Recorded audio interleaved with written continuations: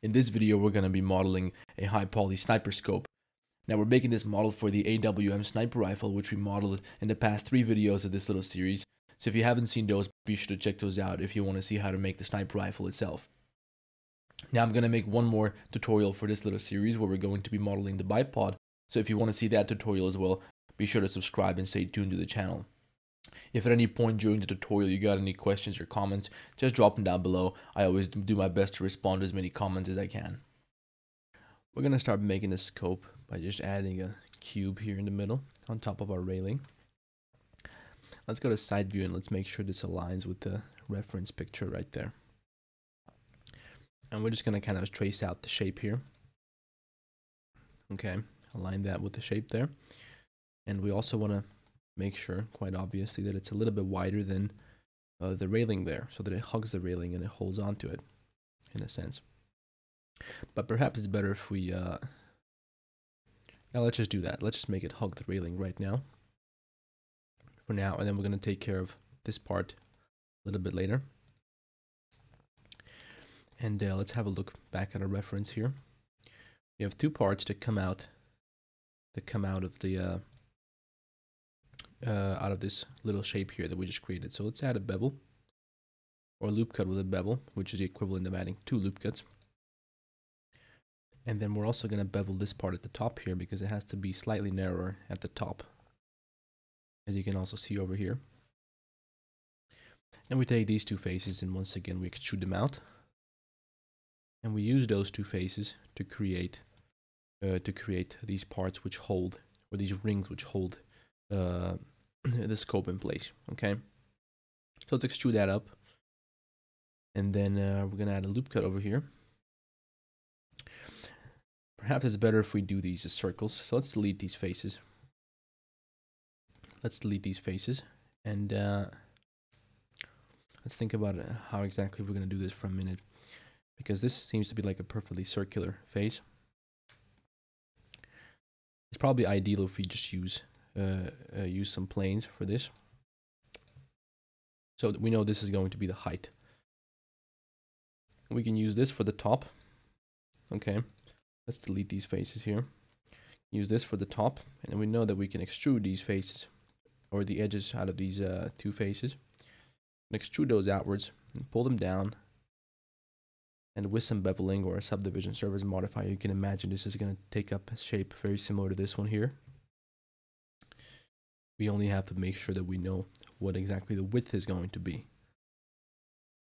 We can take those two, and this still has the same uh, the same width as uh, this part here, where it joins into the rest. So what we can do now is we can go ahead and add a subdivision surface modifier to these two parts alone. So let's separate those. Separate those and add a subdivision surface modifier. And we're going to delete these extra faces here on top subdivision surface modifier with a loop cut right down the middle.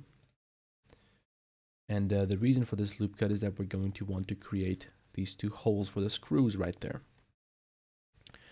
So uh, what we're going to do now is we're going to make these two faces just a little bit wider or these two shapes just a little wider. So we're going to take this side first, extrude this out, and then scale it out on the y-axis made a little mistake there. Let's do this again. We're going to take these two uh, edge loops in the sides here, extrude them out, and scale them up on the y-axis by about 1.1, just a little bit to give them a squarier shape. We're going to add another loop cut on each side like this, okay? And then we're going to want to insert a face here. So let's extrude this, right click, extrude this, right click, and the same thing on the other side, okay? So let's select all those extruded faces now. And then let's move the pivot point to individual origins and scale that down a little. And then we can extrude this once again, but this time we're going to take them down inwards and scale them to zero on the z-axis. Something like that, right? We want to make sure they don't go down below below this uh, surface over here. So what we're going to do is we're going to flatten these new faces out with the bottom of the shape. So our 3D cursor is over here. 3D cursor's pivot point, we're going to scale that down to zero. and we're going to delete that because we're going to want to have the same thing on the other side. Okay. And then optionally, what we can also do is uh, extrude this out a little further, but I think it's going to look only messy because of what we just created, the holes. So we're going to leave it at that. We're not going to get greedy on the detail. And uh, let's see how this works out now. Maybe we are going to have to add some uh, thickness to this. So we are going to have to take these two. Yes, this edge and this edge. We are going to have to take that down just a little further. Okay. And in that case, let's also use a 3D cursor to, again, at the bottom of this to correct this, to make sure that this is at the bottom.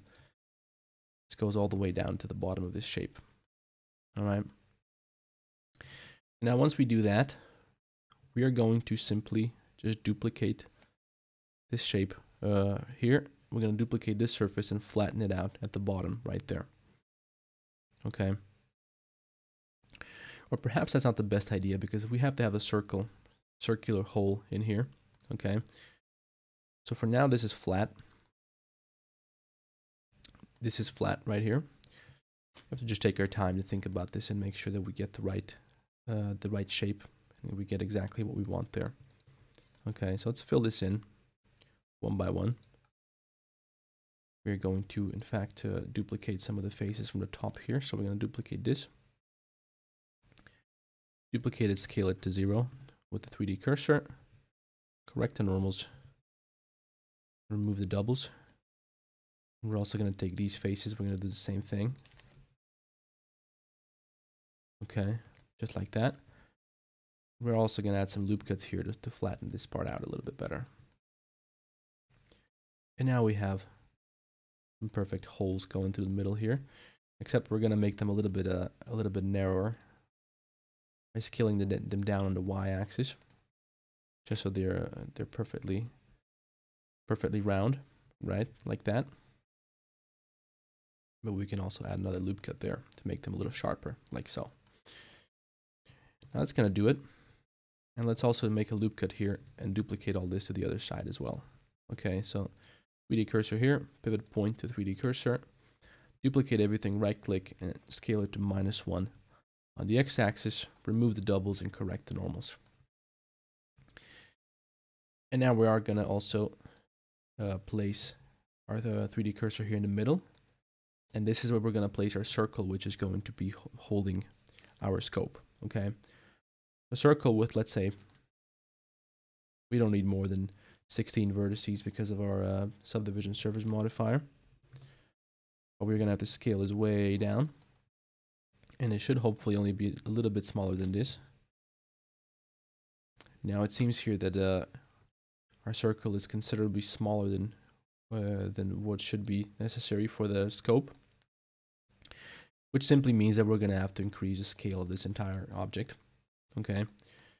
So if we make sure that the circle is about the same size as the scope as it should be. Okay, like that. More or less. Maybe just a little larger and just a little lower. Okay, something like that is going to do it. Like that. Just, just double check, make sure that we have it right. Okay, a little bit higher like that. Okay. And now what we want to do is also increase the scale of this entire object. Okay. We're going to scale this up to whatever is necessary so that when we bring it down, it comes right about to half half of this object. Okay, so we're going to place the, the origin of this object right in the middle there between these vertices. Place the origin there. And then we're going to snap that origin. We're going to snap that origin we're going to level it down, flatten it out with the middle of this uh, circle here. So it's at the same height. Okay, notice this is a little bit higher. So pivot point is a 3D cursor. And we're going to go up here to options uh, and transform affect only locations. That way, when we scale this down to zero, it's only going to move it. It's not going to scale it down. And now this is perfectly in the middle of the circle. And the only thing that we have to do now is just uh, scale everything up a little bit uh, on the z-axis just to make sure it goes above this circle here. Okay. And what we can do now is just use a circle merge this circle with this object right here. Okay, and let's move it to the side there. Scale it to zero with the y-axis. And uh, we're also going to extrude it out, bring it over to the other side, turn it into a cylinder. Okay, on the cylinder, we're going to delete the front and the top faces. And now we just need to delete the bottom half as well. Gonna make a loop cut right there. And Another loop cut over here on the side. On each side so that it aligns with these loop cuts we have from before. Okay, like that. And then we can bridge these edge loops together. W, bridge edge loops. Same story is going to happen over here. Bridge these edge loops. And now we can just go ahead and fill in this whole shape here. Now this is quite disastrous at this point. That's all right. We're going to carefully just uh, fix that part by part. Okay. So first of all, we're going to try to uh, fill in this part over here. It's going to be easier if we remove our subdivision surface for now. And uh, correct all the normals as well. Now let's get started with some of these faces over here. Okay, some of these up here. I'm gonna add three loop cuts there just so that topology works because we are using subdivisions, so topology might be pretty important here. Bridge the edge loops there. And over here as well. And now we really only have these few more faces to worry about here, which are a little bit tricky, certainly. So we may have to get rid of one of these loop cuts for instance, or the one at the bottom. Get rid of one of those loop cuts, and then we can connect. We can connect these edges well. And topology is going to be all right. We have a triangle there, but that should be okay. Let's see what that looks like with a subdivision surface. It looks just fine. And then, of course, we have to make sure we do this on the other side as well. So let's just duplicate everything, all these faces down here, and scale them to minus one across the 3D cursor. Bring them over here. And then with, the, with a 3D cursor in the middle, we're going to do the same thing and bring everything over to the other side of the shape as well. Okay, so duplicate this, scale it to minus one there, remove the doubles, correct the normals. Now we can bring back our subdivision surface modifier. Now would be a good time to just correct, make sure that we have no mistakes here. For instance, we do have some issues over here it's better to just delete this one entire half and then just mirror everything again. And now we're not going to have any of those issues anymore. Okay. Now we can just create a loop cut over here. Oh, this messes up our topology quite a little bit because of this circle, because of this triangle down here. So maybe the best idea would just be to select these entire two faces here entire flat surfaces and just extrude them out by just a tiny little bit just to flatten these parts out completely. Okay? And that's gonna kind of give us more or less the shape that we need there. Okay? So now it's not perfect but it's all right add another loop cut there to make this a little bit more uh, sharp. Like so and then at the bottom here, we're going to do the same thing. We're going to duplicate this whole shape and scale it to minus 1 on the z-axis. I'm going to separate this to a new object just so it doesn't merge together with the other one. But then we can kind of scale this down. You can kind of scale all this down a little bit just so it fits back under this frame here.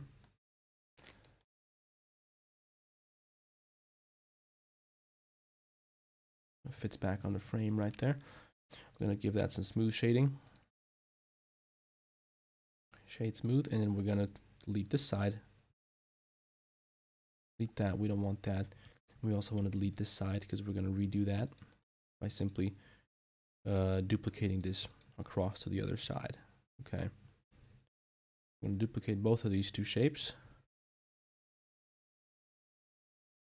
Okay, like that. These two we're going to keep as one, and these two we're going to keep as one. Okay, and now we have uh, two of these rings for holding our our uh, scope. Now we can go ahead and add another cylinder here. This one's going to have 32, 32 vertices. I think 32 is going to be enough for the scope. So we're going to use a circle to create the cylinder. So we're actually just adding in a circle. Place that like so, fill it in, and take it through these rings. Take it over to the front here. Let's set our uh, pivot point back to the median. Then we're going to take it over here, extrude it out, scale it up, scale it up like that, and then extrude it out one more time till the end of the scope, where it seems that we have to, once again, just extrude it down just a little bit, just a little bit, and uh, and scale it down like that. Okay. Now, we're also going to take care of this in the back as well. Just push this all the way out here. We're going to duplicate the circle at the end. Duplicate the circle at the end. We're going to extrude it out one more time. Let's also take care of all these other details here while we're at it. We're going to extrude this out first, like this. And then we're just going to scale it down a tiny bit like that. And finally, we can create uh, our rim, the rest of our edges over here.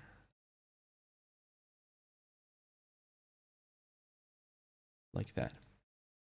We have another little uh, little part sticking inwards over here, so let's also take care of that right away. Like so. And we are going to make a large bevel on this part here. And let's just have a look at what this scope looks like on this part. It's a little bit narrower. And we take it inwards. And this is presumably where the glass is going to be located. We can just leave it at that. Now since we have a glass there, we can also just kind of make a shape like this. And then bevel it. Bevel it like that and get that kind of lens shape at the back there. Hopefully I'm doing that right. And then uh, we're also going to do the same thing in the front here. We take a look at the scope from the front. I'm going to extrude this part inwards a little, like that. Give it a nice thin rim. Shoot it inwards. And again, outwards. Scale it down. And give it a nice bevel like that. Kind of like a lens. Maybe we'll want to make it a little bit more round. I'm going to do something like that.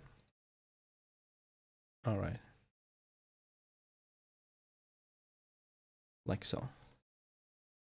And now this is the basic shape of our scope that we need over here. So now we're going to have to do a couple of other things, like uh, this part in here, holding uh, this sphere here, holding these uh, adjustment rings. So we're going to use a cube for that going to add a cube right there. And we're going to see if we can get this kind of shape just flat on top by using a subdivision surface modifier. Okay. And what, the way I intend to do that is by just extruding out each face individually and selecting each face. Selecting each face and then with individual origins pivot points, scaling it down a little. Scaling it down shooting it again to sharpen it and I think this more or less gives us the kind of shape that we need there. Okay, something like that. Let's scale that all the way down with a median point uh, as a pivot point again. Have to make sure we disable affect locations only there. In the side view, let's bring this into place. Something like that is going to do it be a little smaller like that. And now we're going to go up here and we're going to add a cylinder or a circle with 32 vertices. And this is going to be the first adjustment ring.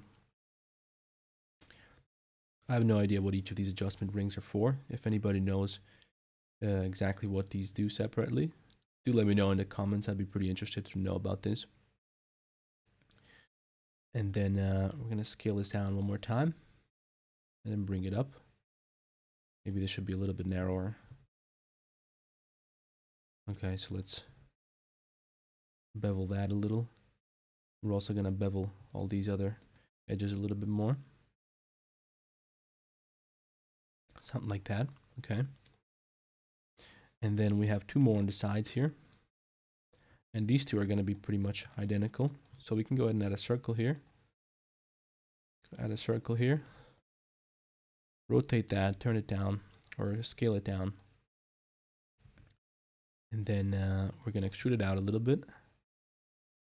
And once again, we're going to have this other part, which is kind of like the knurling or something, or the part that makes it a little bit more grippy.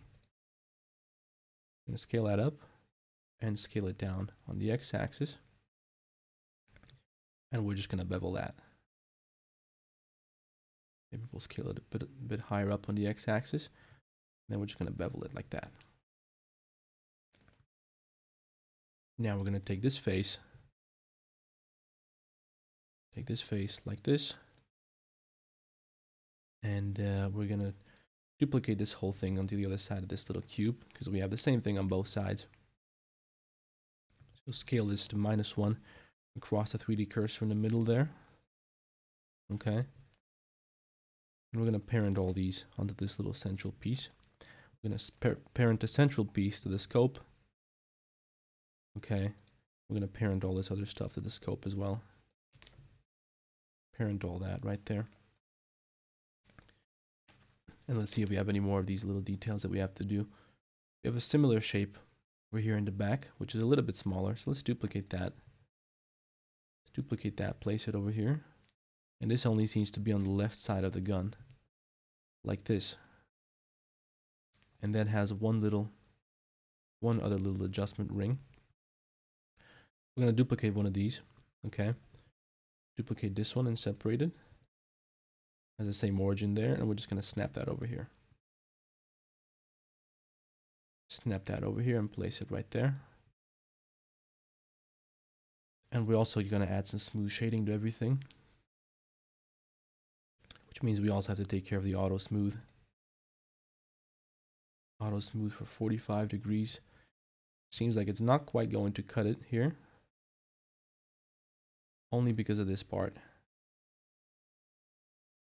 We're going to do this one 30 degrees and hopefully this is going to be all right.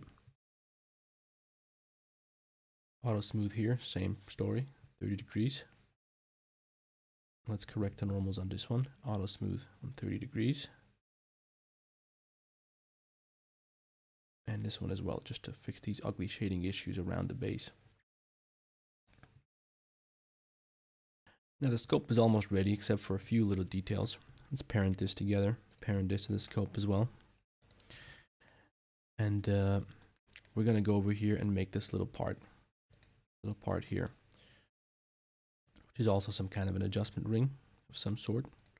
What it does exactly, I do not know, but it doesn't matter because we're just modeling it. I'm gonna go over here, make it a circle here, and separate that to a new object extrude that object out. It seems to go all the way back to here. So let's extrude it one more time. Take it to the back here. And then we're going to bevel that slightly. And if necessary, we might want to scale that. We're not going to scale it down.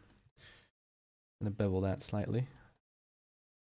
And then in the front here, we're not going to bevel anything, but we're going to go on top here. Take this edge here. I'm going to add a little cube there a very, very, very small cube. And this is just going to be one of the ridges. One of the ridges here on top. We're gripping this little piece here. As you can see, something like this is sticking out of the top here. So uh, we're going to focus on this little piece here. And uh, we're going to make this a lot thinner and we're going to bevel the sides. Going to bevel all the sides. In fact, we might even want to use a subdivision surface modifier on this.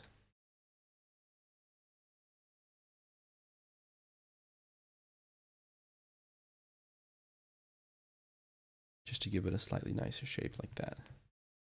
I'm going to delete all the faces at the bottom. We're going to bring all the faces up to the surface to make this a little tighter. I'm going to add some smooth shading to that.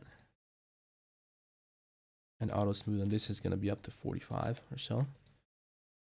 45 or 50 degrees. And then we're going to have to rotate this as many times as is necessary. And the way we can do that is take this shape, duplicate it and rotate it around the 3D cursor, which is placed in the middle of the cylinder. I'm going to rotate it by 180 degrees. 180, then duplicate again and rotate around the y-axis by 90 degrees. Then do that again with 45 and then 22, 22.5 that is, and then 11.25 and as many times as necessary you just keep halving the number. And this is the the object that we want there. So we're going to apply this subdivision surface. We're going to merge them together with this shape down here. Add some smooth shading to that we're going to set that to 50 degrees and hopefully that's going to work for us and it does and then of course you might want to make this just a little wider just so that we can scale this part inwards a little bit. Make another little edge there.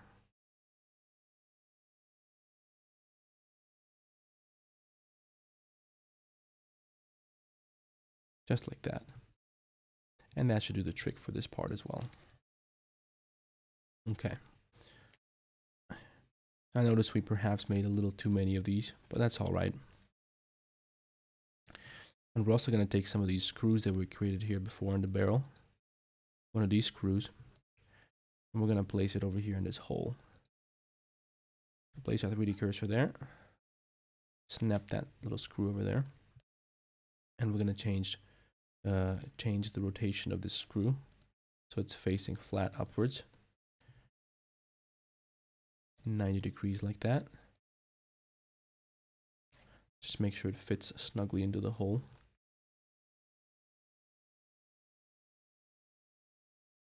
means that this hole here is not quite wide enough. We're going to select this inner selection. Oh, we're not even going to bother with that. We're just going to place a screw inside and call it a day. Place that screw in there and call it a day. It's really not a visible part. And we're also going to do that on the other side. Okay, this side and also the other side.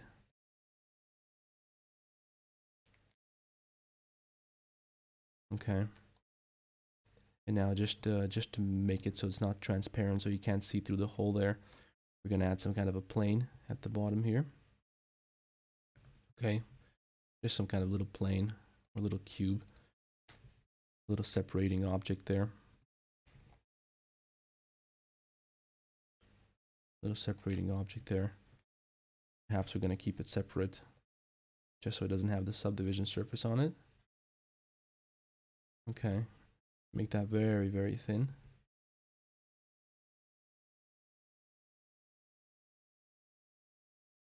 I'm going to scale it up. Scale it up. Okay. Scale it up and just fit it in there so it separates uh, separates these two pieces. Just so we can't see through them. And we're of course going to do this on the other side as well. scale it to minus 1 on the x-axis. And then we're going to duplicate that over to the other holding ring as well. So minus 1 there. And we're going to do the same thing with the screws here. Okay. Select all these screws and scale them to minus 1 on the y-axis and place them over there as well. So now we have the screws and the planes there, which we also want to parent to uh, the scope. Okay, we're going to parent it to this ring here. And both the rings are parented to the scope, so that's going to be in place there. Now let's have a look. We also have a couple of uh, couple of screws here on the side. Means we really just need to place another circle over here. Give that circle 16 vertices.